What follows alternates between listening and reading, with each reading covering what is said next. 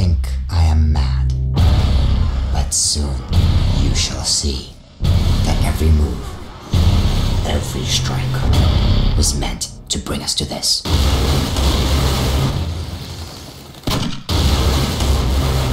If he's back on the grid,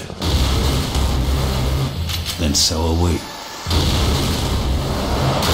At 6.22, attacks were triggered across Europe. Your reports put the death toll at over 100. Never arrived in Hamburg. He's seen storming the U.S. embassy in Berlin.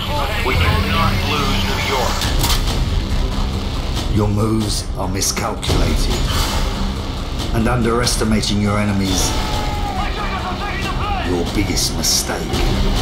You will find the will of a single man can be broken.